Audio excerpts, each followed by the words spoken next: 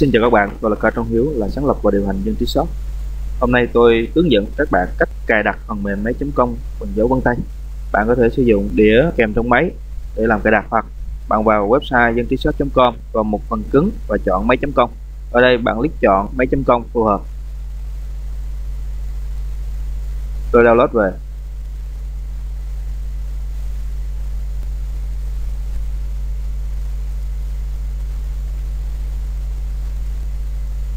Tôi giải nén file cài đặt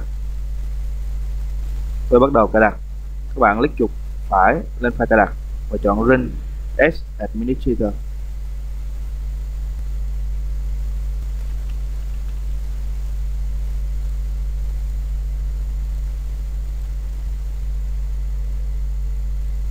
Sau khi cài đặt xong sẽ có biểu tượng của phần mềm. Đây là Meta Pro.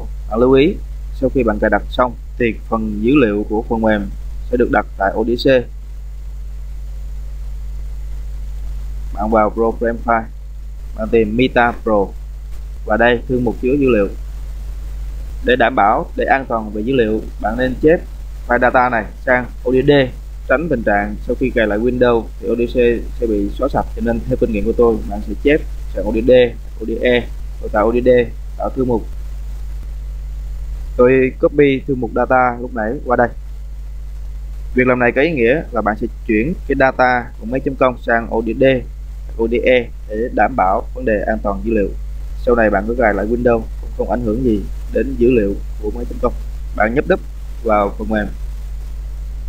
Việc đầu tiên là bạn phải khai báo kết nối cơ sở dữ liệu với phần mềm bằng cách bạn nhấn vào tùy chọn. Bạn chọn Access, click vào đường dẫn ở đây.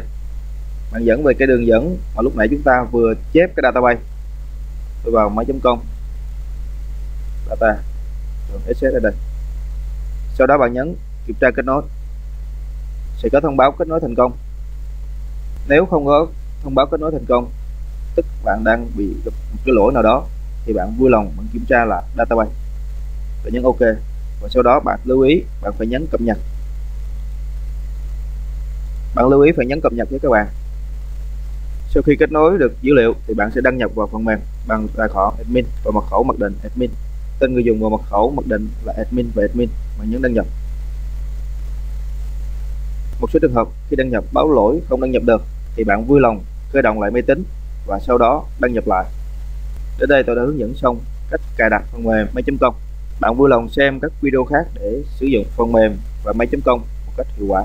Nếu có bất cứ thắc mắc gì, hãy gọi cho tôi theo số 0906 799 838 chúc các bạn thực hiện thành công.